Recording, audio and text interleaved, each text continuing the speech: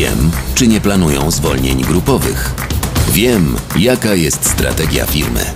Wiem, czy przedsiębiorstwo nie kuleje finansowo. Wiem, bo jestem w Radzie Pracowników. Powołaj Radę Pracowników w swojej firmie.